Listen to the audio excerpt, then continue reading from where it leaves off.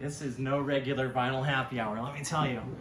Record store day is next Saturday, April 23rd, and I'm gonna try to give you some of my honorable mentions and my top five picks, which is much different from our usual vinyl happy hour where I talk about the top five releases for the week usually. Uh, but I am also going to mention a couple of personal finds that I've gotten here lately in uh, our used collection that's going out. So let's jump right into it. I'm not going to dive really deep into a lot of these records because they're fresh, just coming in. There's like, I think 300 releases dropping. So I'm just gonna skim a few of these and encourage you to go and check out the list and find out a little bit more about what's coming out at your local record store. Or if you're here in the Rockford, Illinois area, you can come and see me, Skyler Davis, at Culture Shock Clothing and Records. And you can also find these records on our website at cultureshockshop.com. However, unlike our regular releases and regular new vinyl that come out, we cannot sell uh, the record store day releases until the full day after. So that is Saturday, I'm sorry, Sunday, April 24th. Whatever is still available will be on our website if you can't make it in or don't live here and still want to pick up some of these releases. Obviously, some are quite limited and might be sold out. Uh, a lot of you, I mean, there's been a lot of you getting into vinyl still in the last year or two and since pandemic. So if you aren't familiar with Record Store Day, this is a huge event that happens usually once a year in April and again on Black Friday. And this group works together with a bunch of different record labels and artists to put out special limited releases that you can only get at independent record stores. So it's a lot of fun, it's super cool, and you'll see there's a huge variety. I'm extremely geeked about a lot of these releases.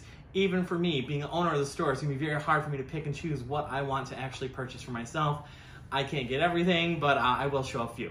So let's jump into some of my honorable mentions. Let's first talk about how special some of the packaging is and things like that.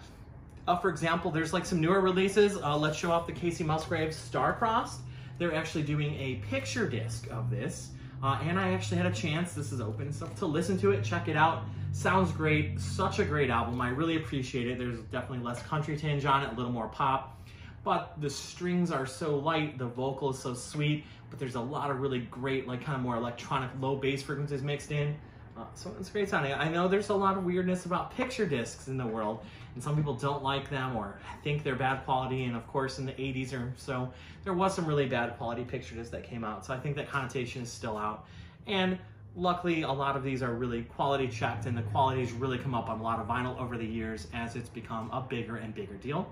Um, I'm gonna talk, let's get this box out of the way. So this is super cool there is a Ramones box set. This is the Sire albums from 1981 to 89. So you will see that you get Brain Drain. What do we got here? Yeah. There's a like six, yeah, there's six studio albums, yeah. So you got their six studio albums that came out. These are all limited and numbered also. Oh yeah. So you got Subterranean Jungle. So a lot of these are gonna be like their 80s stuff, of course, the full 80s collection. Uh, and these are each numbered. So each box, there's 14,000, has a number. This is number 11,500. But what's really special about it is you get this. So those are all black vinyl. That's their six studio albums, but you get the Ramones, still more stuff, rarities from 81 to 89. These were some demos, some EPs, things that were on EPs and singles and imports. And it is on this cool splattery color vinyl. Uh, and there's some songs on here. I mean, I'm a pretty big Ramones collector, aficionado, so there's some stuff on here I had never heard before. So that's really cool that it comes with the extras, plus you get the handy dandy nice box set to keep all the albums in. This comes in there with it. I just pulled it out so you could get a better look at it. Uh, let's go. I'm gonna kind of build up to like my, my top five, and actually not every single release is even in yet. We're lucky enough to have gotten some of them in early so we can start prepping and getting ready for the store because we need some time. With this big of a list, it's huge. So also in the link below, I'm gonna put a link to our website. Uh, just look for the Record Store Day 2022 releases. And uh, yeah, there's a link. But anyway, that will give you a little more detail on each of the releases coming out, not just the ones I'm showing here, but the entire list. Uh, what I suggest is doing your research. That's kind of another reason I kind of picked like my top five because there are so many people looking for so many releases, and obviously, even the stuff that they made, you know, five or ten or fifteen thousand of, we might only have a few available. There's so many stores who are partaking in this, so we're doing it a limit of five releases. Uh, once you make it through the line, it'll move very quick. You can buy one of each release. Uh, and then if you want more than five, run through the line again. We just want to make it fair so everybody has a chance to get through and get some stuff. Uh, I'm gonna just do a brief story on a couple. This is really fun. This is really strange. Jazz Sabbath Volume 2. And I don't know, it says, it says limited mono edition translucent. Uh, it says bonus disc. So there is a, a, supposed documentary. I don't know if that's the documentary or a live music video. I haven't had a chance to watch it, but it does come with a DVD. Uh, but Jazz Sabbath has a really fun story. This release is all it's Black Sabbath songs, but done in a jazz, you know, it's a jazz pianist working together. But there's a really freaking weird backstory about how in 1969 or 70, uh, he had made this album and had a heart attack, was in hospital, and when he got out, the record manager had burned down the warehouse with all the copies of the record to collect insurance money. And then this other band popped up called Black Sabbath and was doing uh, what he called like uh, crude metal versions of his songs, of his jazz songs have been turned into crude metal or something like that. Uh, obviously, the guy's not even that old, so it's just a totally whack story. It's just kind of funny to go along with uh, his album. But he or they had done one release before, and this is volume two. Uh, but this has a story about how he moved from the UK and ended up in New Orleans, and this has a little bit more of a New Orleansy mixture to a jazz song. But you've got Paranoid, Snowblind, uh, Black Sabbath, and Symptom of the Universe. So these are done in straight up like truly jazz instrumental versions of Black Sabbath songs. But the backstory is that Black Sabbath stole these songs from them. So it's just a fun, wild story, and it's just one of those things I love that come out as a record store day release. Something with a really cool story, uh, cool packaging, special release, some extras and things like that. Uh, these are all just kind of like some honorable mentions. I'm just going to kind of briefly go over them. Uh, Dillinger Escape Plan. This is limited edition on gold ripple color vinyl just a really great mathematical hardcore band very brutal tunes. That was like their final album. So a lot of things are going to be reissues or special versions of things that have either never been out or maybe have never been on vinyl. This next one, uh, Corinne Bailey Rae, this is the Sea. I forgot what year this was. So I'm going to say 2012 or something like that. Not 2010. This had been out before, but it's extremely rare uh, on vinyl, especially hard to find she is just a, a beautiful singer, a beautiful uh, musician. Just a lot of really cool, kind of more of that funky R&B and just great singing and kind of jazzy in a way. But it's extremely rare or expensive. It did come out on vinyl. I've only seen it, you know, many, many, many years ago. So glad they're finally reissuing that. And this is another great record store day release. My only quip is that it's just coming out on limited edition blue vinyl. I mean, the name of the album is The Sea. They should have called it, you know, Sea blue vinyl, right? You'll see that some of these things have fun random names. Uh, what's next here? Oh yeah, Future. There's some uh, some more good modern hip hop and stuff like that. This came out in 2015 on teal vinyl. So there's a mixture of rock, jazz, you know, hip hop, just new stuff, old stuff, like the Ramones box set. There's not a lot of box sets. There's a Grateful Dead box set, the Doors LA Woman Sessions box set. Uh, there's a lot of LPs, some 7 inch and stuff, which I actually forgot to bring some 7 inch records here too, but there's a couple good ones in there. But Oh, Alice in Chains, We Die Young EP, one of my favorite bands of all time.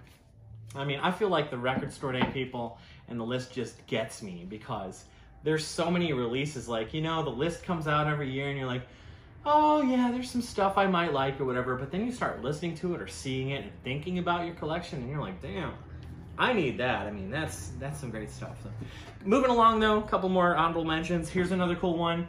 I'd probably mispronounce them in the past. This is Weyes Blood. Uh, I, I think I've called them Weyes Blood or Weyes Blood. It's W E Y E S. Very cool lettering. Um, but she is a great singer. This is kind of more on the weird folky side of things like that. Her last couple albums have more of that I don't know, somewhere between Phoebe Bridgers and Julien Baker sound, just a really great, sweet sound. But this is an album before I'd gotten into them. And this is uh, also on color vinyl. This is uh,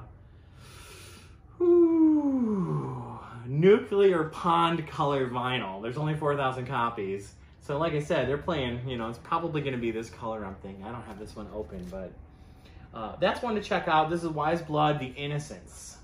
Uh, we got a few of those. A lot of these we're only getting like, I mean, Alice in Chains we have like, I don't know, 20 or 25. Weyes Blood, I think only like five or six. So it's kind of funny. You never know quite how it's going to work out because you order a lot, try to get some, and you may or may not. I actually couldn't find, I have an original pressing of this. I wanted to get it, kind of compare and show it off. Of course, I couldn't find it. We're under a lot of work getting things ready for record store day. But this is Art Pepper Meets the Rhythm section. Um, this was, uh, was this on Clef Records, I think? I'm sorry, yeah, I think it was a Clef or contemporary, contemporary jazz records in 1957. Super cool jazz album. Uh, you got Paul Chambers and Red Garland, just a lot of other classic jazz musicians playing along. Chambers on bass, Garland on piano. Uh, anyway, Art Pepper, just another great alt- alto sax player, great piece of jazz. But what I especially love, and I trust Record Store Day, and I trust a lot of the labels, what they're putting out, Craft Recordings has done a couple other jazz and even some rock releases, but this is nice thick vinyl. It's a mono recording, not a stereo recording. So it's not that improvised stereo. This is true to the original mono direct jazz layout from an analog source. So this is a fully analog jazz piece. Super cool slab of wax, just another really great jazz album to pick up. Uh, let's see, here's some fun ones. Czarface, uh, Czarmageddon. This is cool, just some more kind of uh, fun comic kind of related hip hop, just some very cool alternative and underground hip hop.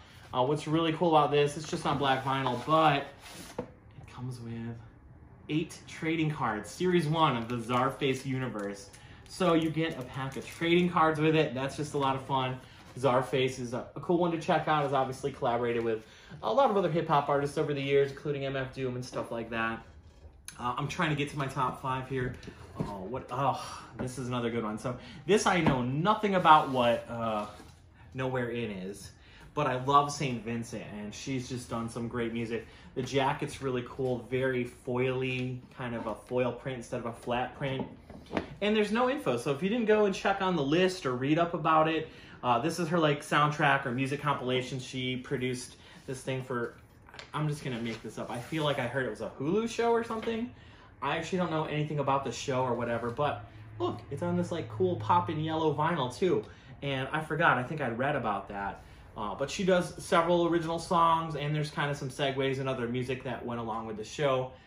I love the album and I love the music and the ambient feel of some of the in between stuff without even knowing the show. Just as an album, I got to check this out. I'm a big St. Vincent fan. I've got pretty much every album she's done, including one she did with David Byrne. Just a great guitarist, cool vocalist. Uh, uh, Annie Clark is her name, and she goes by St. Vincent. So that's the Nowhere Inn. Just want to show that off and show off that, hey, it's on color vinyl, even though there's no hype sticker or really outside promotion about that. Um, what do we have next? Oh, I mean, this takes me back. It's got to be 90s, right? 98. Uh, the Everlast one, Whitey Ford sings the blues. Uh, I'm going to say, I don't know if this has ever been on vinyl. I've certainly never seen it on vinyl. So I love to see that, you know, being an elder millennial or whatever you want to say that I am, we're seeing some stuff that's kind of more from my high school era, junior high era, all that stuff, of some music that I grew up on, that I heard, but I've never had or owned on vinyl. And now that it's the main way I listen to my music and stuff like that, it's cool to see some of this stuff, you know. Uh, the ends, what it's like, uh, of course, it's got a lot of lot of big radio songs on it, and a lot of people, if you didn't know, Everlast actually came from the kind of Boston or whatever they were, the hip hop group or whatever, House of Pain. Uh, and DJ Lethal went on to do uh, all the stuff with Limp Bizkit, and uh, Everlast was uh, uh, his other creation from the other guy in House of Pain here, and uh, oh man, so it's just cool to hear how much hip hop actually is, influences on this album. Everybody hears that that song, you know, with the blues, you know, but it's a, it's actually a pretty good album, and you know, it's one of those ones where I wouldn't have made much of a claim to it over the years of listening to metal and being too uh, too musically diverse and interesting, but it just hits that right amount of nostalgia and has really good production. Actually, uh, it's not a bad album, so it's cool to see that stuff. Oh God, what else do we have here? Okay, this is cool. The reason I want to talk about Earl of Hell, um, Get Smoked. This is actually we're calling this a Record Store Day release, even though it's not on the official Record Store Day list. This is a local record label here from Rockford, Illinois. Uh, our friend Ryan Foster has a thing called Slightly Fuzzed, and he's putting out this release this month and allowed us to have some copies. It's a very limited run of either just a hundred or a few hundred. Uh, and this is a Scottish, like we'll call them like scuzzy rockers. It's very gritty, garage rocky, kind of stoner rocky, classic hard rock mix. Uh, this band actually uh, has been working with him on the label Slightly Fuzz to put out some stuff on vinyl. And I can't remember if they've had something out on vinyl or not yet. They've got a couple other albums I know. But this may be their first release on vinyl. But at any rate, it's the one of the first ones to come out from Slightly Fuzzed, and we're happy to have a local release here. Uh, even though it's a Scottish band, through a Rockford label, Slightly Fuzzed. So, and he's also done a lot of the artwork and stuff like that with the label. Of course, you can check out their website. I'll try to put the link to their site in there too, so you can see some of the other stuff they're working on. Uh, but this album, it's just a good rocking album. So it's cool that has a local connection. Oh gosh, I can I show a couple personal things really quick. This is just this isn't me just bragging or showing off my goodies, but it should give you hope because there's some holy grail pieces I've picked up in this used collection that we're working on putting out. Because besides all the record store day releases, we're also putting out CDs, DVDs, cassettes, vintage T-shirts, uh, and some nice used records. But we're putting out some nice jazz stuff. But I just wanted to show off the John Coltrane, uh, the Coltrane album, Prestige. Wow, Prestige number 7105. This was an album I've been looking for forever. And now, to our customer's advantage, although I got first dibs and I actually bought this one for myself, I have it now. So that means that the next time we get a jazz collection or some good rare records, that one's gonna go to the store. But there's a lot of jazz records we're gonna actually be putting out too, and a lot of just rock. There's a, a sealed Pink Floyd Ummagumma, some sealed Rush. Uh, this is an Art Farmer piece on Mercury Records. Uh, I just want to point out there's so many labels out there besides obviously Blue Note Records and like some of the other stuff we talk about a lot, Verve Records. Here's an original old Columbia of Dave Brubeck. So I just want to show off kind of some, some cool records we got in our used collection. Those won't be on the website, but they will be in store. Just kind of leading in, building some hype for all the other stuff coming. Let's talk about my top five picks, at least for right now. This is very subject to change, but Record Store Day just gets me going and gets me geeked because there's so many releases dropping at once. It's hard to stop and pick. Uh, here's another one, kind of going back to my childhood or youthful times. Kittie, Spit. I remember thinking this was so brutal and so heavy when it came out, and it actually is. It is very heavy. This kind of led me from right from Hole into to Slipknot, Sepultura, and everything else, all sorts of other metal. Um, but these girls rock. These were so heavy, and obviously this is the first time it's been on vinyl, so it's really cool to see something like this coming out on vinyl, on red vinyl also. Um, just a cool piece, you know, really brings me back to those Ozzfest years and some of that stuff. So meeting them, I got to see them once. So that was a cool release. I was like, hey, never been on vinyl. That's pretty cool.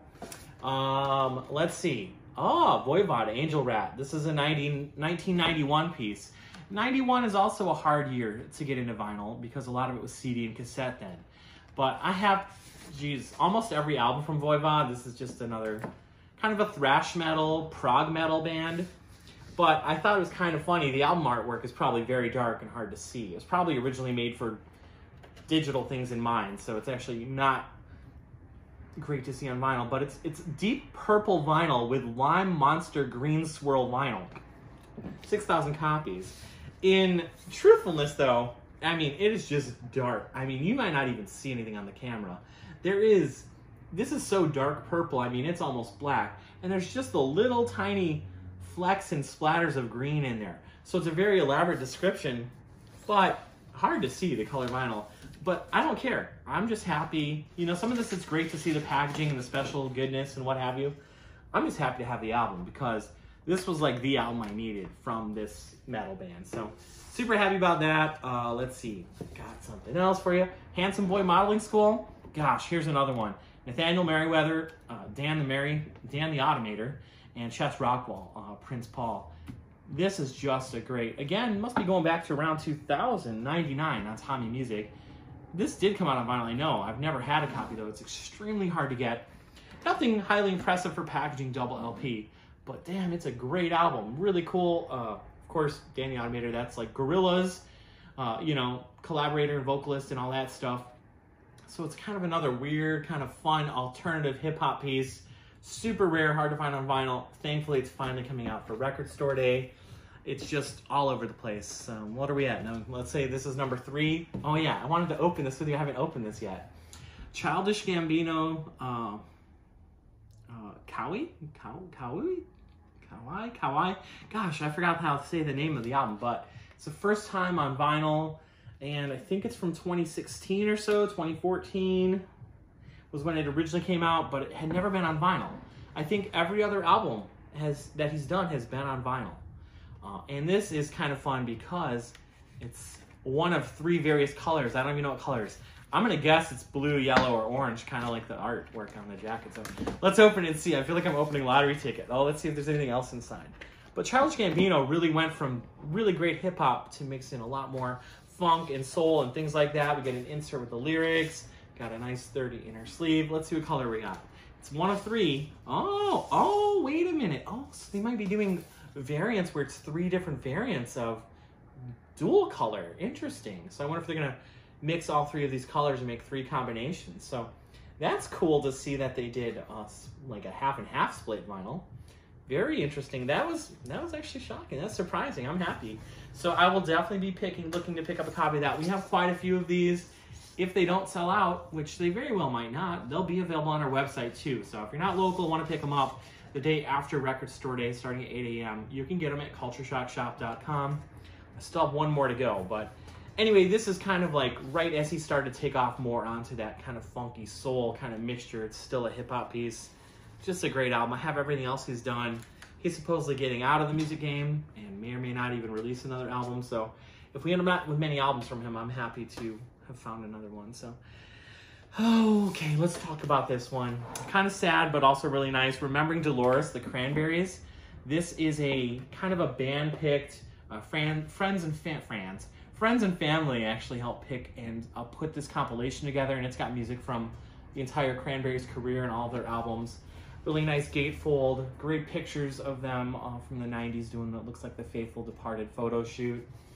Uh, the other interesting thing is it's a compilation of songs from all of their albums, uh, but even more special, it's got um, photography by their photographist Andy Earl, and this is the black and white photo. This is supposedly the first photo that he took of the band in 93 uh, when they were doing the photo sessions for their first album. And this was the last photo he took of Dolores uh, in Mexico on their 2017 tour. So each of the inner sleeves has, you know, nice thick inner sleeve and has artwork from uh, their photographer taking pictures of her. Um, honestly, a couple of the later albums I'm not as interested in. So it's really cool to hear some of the stuff um, from Wake Up and Smell the Coffee, especially, and the album Roses. I actually don't have those. Plus, To the Faithful Departed, very hard to find. There's several tracks on here from that album, and of course, everyone else is doing it, something else. So there's a lot of a uh, lot of things on here. Uh, it's also got I'm Still Remembering, another one of my favorite songs from To the Faithful Departed. So it's a two record compilation of handpicked songs from their career and stuff that uh, lets people remember Dolores and stuff, who passed away just a few years ago, sadly. Uh, Cranberries, one of my favorite bands of all time, too. Um, just just cool, kind of cool concept pieces like that. I know there's the Patti Smith piece where Record Store Day picked some stuff to put together some compilations.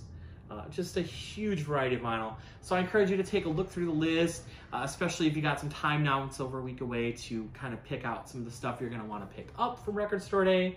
Uh, even if you're not here, go out and support your local record stores.